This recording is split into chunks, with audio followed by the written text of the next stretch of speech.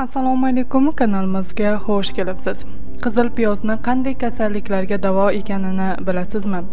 Agar ma'lumotga ega bo'lmasangiz ushbu video lavhamizni tinglang va ma'lumotga ega bo'ling. Qizil piyoz saraton xavfini oldini oladi. Uning tarkibida ko'p miqdorda oltin gurgut moddasi bor. U saraton yara kasalliklarini oldini olishda muhim sanaladi. Qizil piyoz diabetda ham foydali. Xom piyoz insulin moddasi ishlab chiqarilishini faollashtiradi. Agar siz diabetdan aziyat chekayotgan bo'lsangiz albatta piyoz iste'mol qiling.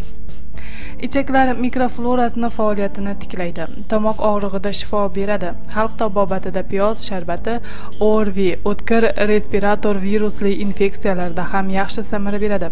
U burun qonashiga qarshi yaxshi ko'makchi. Yurak salomatligini mustahkamlaydi.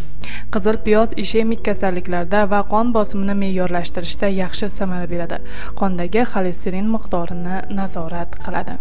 Hozircha shular kanalimizni kuzatishda davom eting. Dasturlarimiz sizga ma'qul kelayotgan bo'lsa layk bosishni unutmang. Sizning fikringiz biz uchun qadrlidir.